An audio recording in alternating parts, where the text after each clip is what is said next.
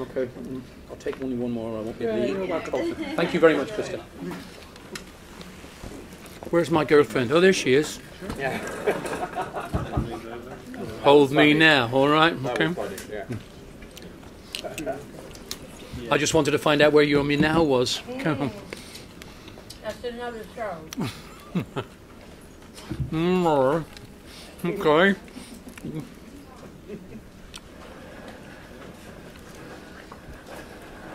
Can I just hold this up, please? Oh, just. Uh, Hello, everybody. Hello. Hi, Hi. I'm, I'm, I'm the original J-Lo. I'm, I'm older than she is, okay? Johnny, when you were a young singer of first entering the Eurovision, what were your hopes and aspirations going into that first contest? And could you ever don't- foresee your name would be linked with Eurovision No. for next? No, to be honest, um, the Eurovision I grew when the Eurovision I grew up with was a, a gateway. The only really way, the only way for someone in more middle of the road, um, unless you were in a rock band in Ireland, you went and lived in London like Thin Lizzy or bands like this.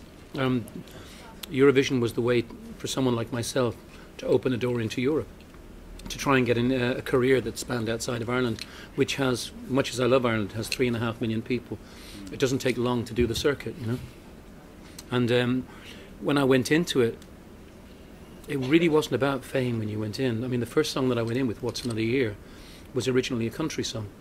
And I heard it sung, it was sung by a guy called Jim O'Neill, who was a DJ with RTE. And because he was working for RTE, they thought it was incestuous. They, he was not allowed to sing in the contest. And then I think they wanted a country singer called Glenn Curtin to sing it, and he didn't want to do it because he didn't believe in the song. And then the song was offered to me. And uh, it just happened that at the same time, there was a young musical director called Bill Whelan who was making a name for himself. And Bill did the musical arrangement for it. And there was a young saxophone player from Scotland called um, uh, Colin Tully. And he was playing with a jazz funk band, Cado Belle. And um, it was just one of those freak things where we all came together and it worked. You know, they, uh, Bill went on to write Riverdance. He was the guy who wrote the music for Riverdance and this sort of thing. So it was a lot of uh, talented people at a, at a time, young talent in Ireland that came together at the right time, and I was very lucky to be the person that fronted it. Um, but I didn't think about winning the Eurovision. What I thought about doing was actually making the people proud of the job that I did. And the um, when I sang the song, what um, before the votes came in, Shay Healy said to me, "Well, you can't have sung it, you know, better than you sung it now," and that made me happy. Then I knew I could go home. You know, that's the honest truth. Uh, what did you think when you were asked to take part in the 60th anniversary concert? Did you hesitate in saying yes? Yes, I did. You I hesitated quite a lot, yeah. For how long? Um, Three seconds? Um, no, uh, you know, this, Why the well, it's because um, I haven't worked in England for over twenty years, Okay. twenty odd years, and to come here. Welcome back. Thank you very much.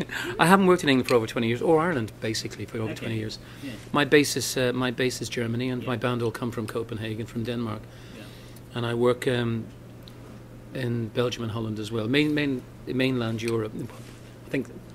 Um, so what was behind the decision not to work in the UK? Um, basically, in, 19, in 1980, when I won the Eurovision first time, I was in court for four and a half years. All the money was stolen from it.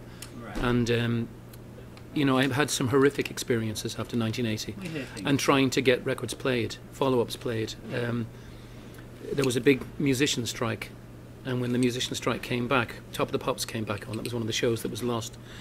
And uh, before it went on strike, the uh, program had a rule where you were allowed, the, the, the last number one had an automatic slot on Top of the Pops. So they had a song like Save Me, which I didn't believe in. Yeah. I didn't really want to record. But, um, you know, it's very hard when you're 24 years old and you're alone in the between five, six managers telling you to do it. And I recorded it. It was, uh, cut a long story short, didn't work. Uh, the radio stations wouldn't play it. And when the, pro- when the strike came back, that rule was done away with. So Top of the Pops wouldn't do it. So all of the ways. And then it became an uphill struggle to make my career work. And in 87, when I won the second one, I saw the same thing happening again.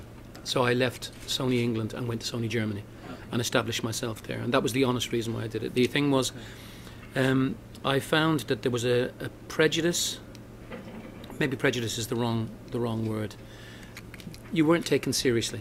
I didn't fit By the UK? by the UK. Okay. Um, By the by the UK by establishment the establishment, not by the people. No, I would never. I would never take the, Yeah.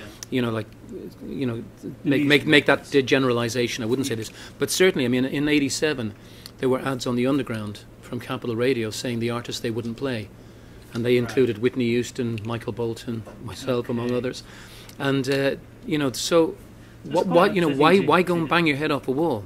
Yeah. You know, this was I was 30 years old, 31 years old, and uh, you know, Germany welcomed me with open arms, and the Central Europe, and I made a, a you know, like I've sold an awful lot of records, something in the region of 16 million, and I've um, my last four albums have been in the charts all over Scandinavia.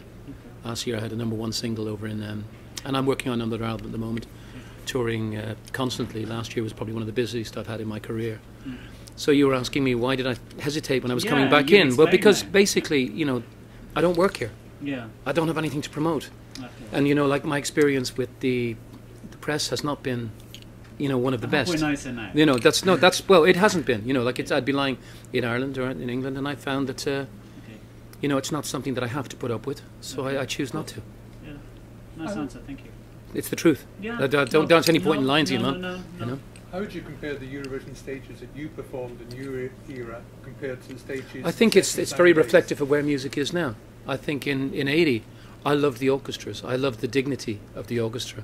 I mean, I still get into trouble. I know you were with the EBU people earlier on, and I still get into trouble with the EBU for going on about the orchestras. But the orchestras, for me, add a certain added a certain sense of occasion. This show tonight, one of the things that did actually convince me to do it was the band working, real musicians playing, and not being asked to with the backing track. They're so, and you know, the, the musicians are so great, but they bring live music will always bring the best out of an artist if you can sing. Um, the feeling of watching a conductor start up an orchestra and people shifting in their seats before you start singing is something that I wish an awful lot of artists today could experience. Touring with the Royal Philharmonic Orchestra was one of the highlights of my career. Singing for the Queen of England under the baton of um, with David Bell and Al, um, Alyn Ainsworth, under the baton of Alyn Ainsworth, who used to be the uh, God rest their souls, they're both gone now. But um, those were the high, for me the highlights of my career. I learned more in England from the likes of David Bell and Alyn Ainsworth that have stood me in good stead and allowed me to have the career that I've had, and I will always be grateful to England for that. And I'll be always, you know, um, remember my time here and the work that I've done with a great sense of pride, as I will remember my three Eurovisions. But where the Eurovision is now is reflective of where the music industry is. Um, nowadays, the biggest TV shows you have are X Factor and The Voice and Pop Stars.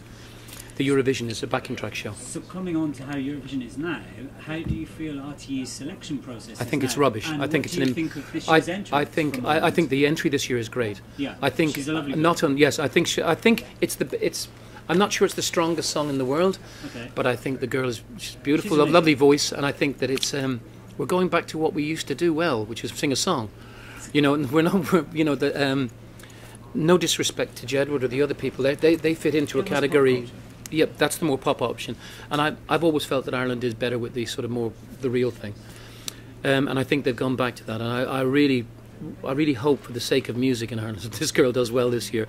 But I do think um, that Ireland turned the Eurovision selection into a farce years ago when they changed it into You're a Star. They changed it into a kind of ex pop stars and things like this. And they used to end up with two singers from different parts of Ireland competing against each other and no song. And the reality of it is it's a song contest. You find a song and then you get the singer to sing it. So they were putting the cart before the horse. I feel that um, you've asked the question, so I'll answer it. Um, I feel that Ryan Tubridy, who presents the uh, the Late Late Show, which is done on, is wonderful. I think he's great at the Late Late, but the Eurovision Song Contest, the selection process, should be nothing to do with the Late Late Show. It should be the way this. You look at. I was in Scandinavia on the for the fourth heat. I was doing a gig in um, uh, in Sweden. In uh, I can't remember the name. It's Vecchio. Vecchio. I'm sort of. A, did, that, did I get that right? Almost. Vecchio. And um, I saw the guy that went on to represent, uh, who's going to be representing Sweden. Yeah. And the graphic illustrations around him are absolutely unbelievable. And Måns is his name. Uh, you know, the, the effort that is put into the Swedish Song Contest and the Scandinavians into the presentation and the selection is something that everybody could take a leaf out of. At the end of the day, the Eurovision, you can slate it, you can say whatever you want. I'm a very proud Irishman. And I think that something goes outside of Ireland that carries the name of Ireland deserves for you know the rest of us to feel proud of it as well. And I really dislike what they have done with that that in Ireland in general. We're lucky enough that we've had the likes of U2, Van Morrison, Gary Moore, Thin Lizzy, you know Phil Lynott. Um, you know, you may not quite like Christopher or me, but we've all been successful, you know, like on different levels. And um, you know, um, you look at the influence that the Irish music has had abroad, even the written word, the likes of Oscar Wilde and George Bernard Shaw and things Yeah. like this. For such a small country, we've had such an influence in the arts. It's something that we should, we've always been very proud of. And I think that uh, certainly the powers that be, and not the people, the powers that be, have let the country down. In the last 15, 20 years. There was a great rumour in the early 90s where Ireland just kept on winning it and kept on winning it, and they were going, That wasn't a rumour, that was a fact. they were saying it's bankrupting the country. Oh, that's rubbish. You just asked the EBU. That's rubbish. You know, this is, I've got all that. And the reason that RTE can still do TV shows is we won the Eurovision, we paid for the cameras. Um, that's rubbish. I think sort of, you know, it's a bit like England saying that they don't want to win the Eurovision Song Contest. Maybe some people don't, but I guarantee there are people involved in the the uh, the staging of this TV show that would love to have the Eurovision here. They'd love to have it in England. Yeah, I know, but this is, but you know, but that's the same thing as saying it in Ireland. I mean, the people want to win it. You know, like the thing is, I do remember going to the Eurovision in '87 and being told by somebody from RTE very high up, "I hope you come a close second. I do remember that. But you know, the thing is, that the reality of it is that um, the benefits from winning it, the focus the following year on your country and your and your you know the, the stuff that's in your country, the tourism in your country alone. I mean, um, Ireland is just coming. We're coming out of a terrible recession and terrible sort of um, financial hole that we we've, we've dug ourselves into, and um, anything that's going to you know like bring people back in and we can sell Ireland for what it you know the best part of Ireland, which is our people and our country. Um, that's always been, you know, like the, the best sellable thing that we've ever had from Ireland, our young people and our country, and um, our sense of humour.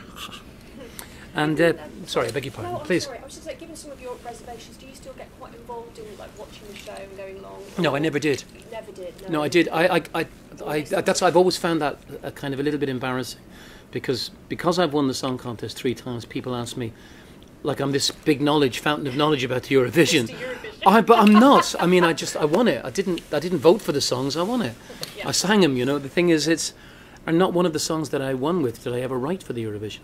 I mean, Hold Me Now I wrote in Wandsworth Common um, at a time, and the reason I wrote Hold Me Now was because I was with a record company, and the songs they kept giving me gave me, you know, they were effortless. There was nowhere to go vocally on them. There was no register, and nobody was writing songs that would push me vocally. So I decided to try and write for myself, and Hold Me Now was my second attempt. And uh, um, I brought it to who was then my manager in London, and he uh, very ungraciously told me that I should put my pen away and he would choose the music that I would sing, and I should uh, forget trying to write songs. And I held that song for two years, and it won the Eurovision. That was '85, and it won the Eurovision in '87, and it's uh, still uh, making me a lot of money today. Thank you. it's one of the first that I really remember. Actually. Yeah. Well, you'd be very young then, you I'm know. not- not Some of us are 60, you know. Okay. Um, have you heard the entry from the UK? I just heard it very briefly um, on the way in. What were your thoughts on it? I, I um, Be honest. And to be honest, I think it, you know, like sort of, uh, it kind of like, you know, like sort of like good time jazz. Kind of, I kind of got a gangster feel off it, you know, when I was coming in. But I, I, I really, um, I think one of the best things that could happen to the Eurovision would be for England to win it.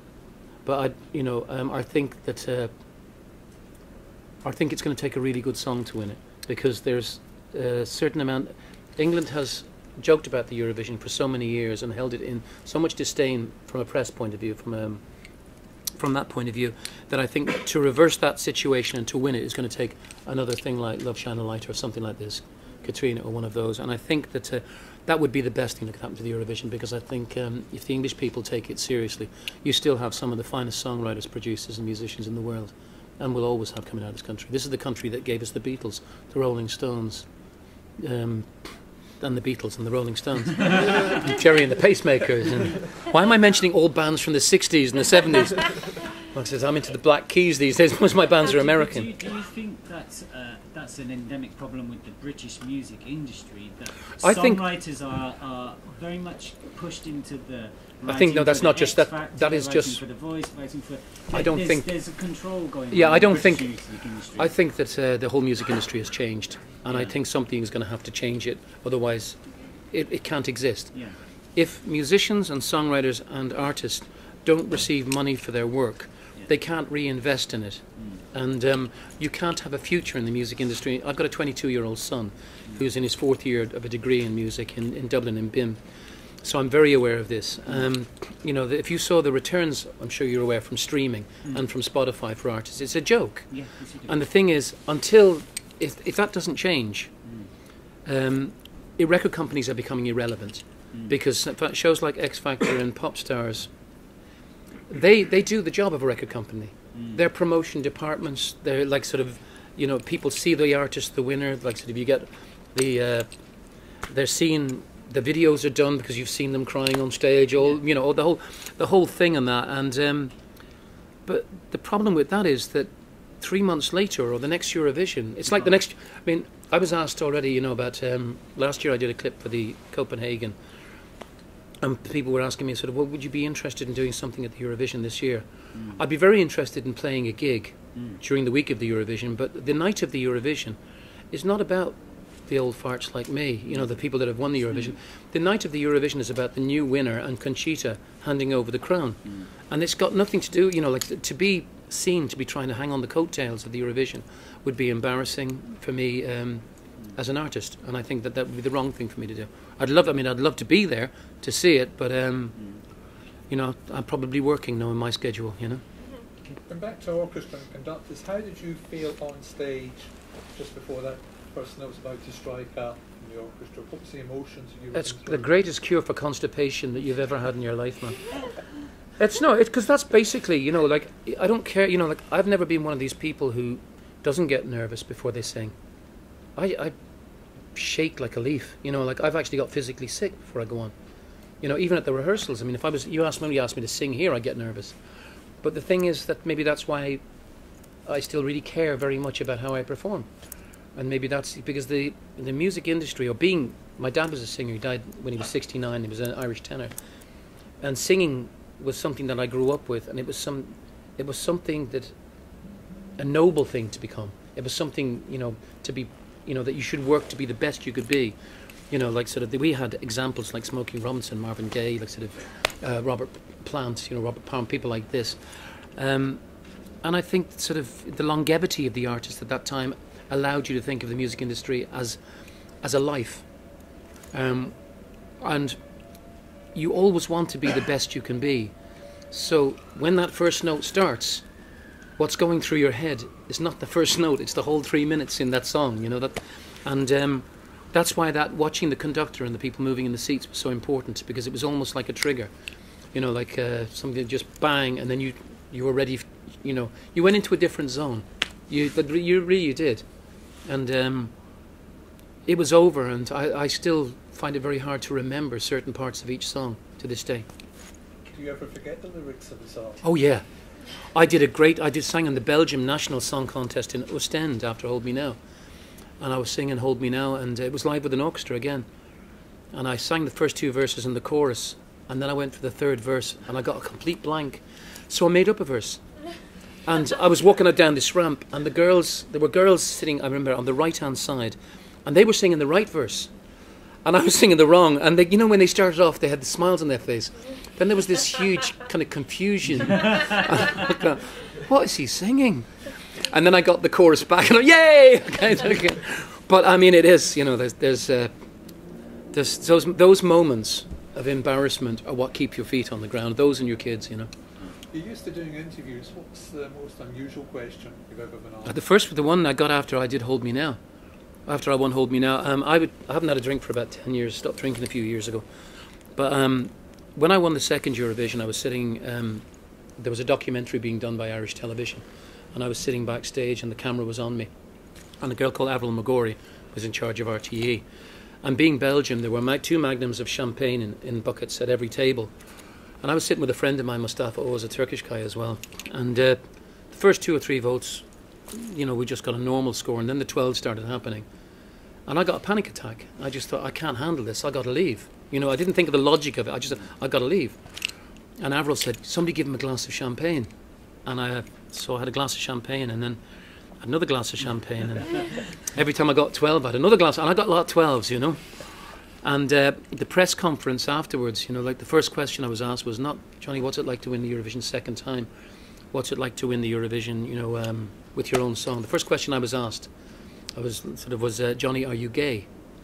And before I could stop myself, I said, I'm not, but my boyfriend is. and, and that's, you know, but I've always been somebody who doesn't think things through. It's like even the questions that you're asking now. I answer them as honestly as I can. And I have a sense of humour which is quite dark and gets me into trouble sometimes. You say your son's 22. My, that's my baby. Your baby boy. It's 2022. okay. My eldest son is 35 and my middle one is 30. Wow, good spread. Yeah. Um, I got home occasionally. Okay. Students are really massively into throwing parties for Eurovision night. It's sort of become a bit of a culty thing to get all your mates round, drink drinks from the country. I think that's great. Uh, But that's what it used to be like. And that's, you know, and that's what it should be like. And you shouldn't be taking, you know, like, oh, I don't like that song because the bridge section isn't right or this sort of you should go and have a laugh, enjoy yourself, think the song is funny or this one is good or whatever. Or it's a bit like, you know, I go to the races, to horse racing. But I wouldn't know that one end of a horse from the other. The only thing I know about horse racing, uh, horses, was in 1980, after uh, I won with What's Another Year, Shergar was kidnapped by a terrorist organisation or something like this in Ireland. It was a very famous racehorse. And seemingly this is true. There's a documentary done, a kind of play on it. And Shergar, um, whoever kidnapped it, had a meeting with a guy in a in a pub in Wicklow in the mountains, and the code word for the meeting was Johnny Logan. And I just saw a picture, and this bald guy behind the bar, and a guy walks up and says, Johnny Logan. He says, Johnny Logan. And that's about as much as I would have in common with horses, apart from I live in, you know, my uh, uh, uh, in Ashbourne, in, um, just outside of Dublin. It's very famous for horse racing. So your message for Eurovision, yeah, Sorry. your message for people watching Eurovision this year is just enjoy it. Then. Enjoy it. It's a TV show.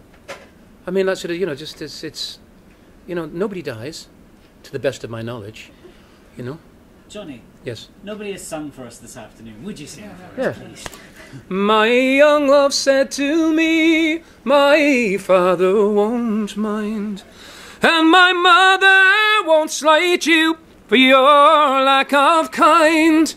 Then she moved closer to me, and this she did say It will not be long, long, long love till our wedding day.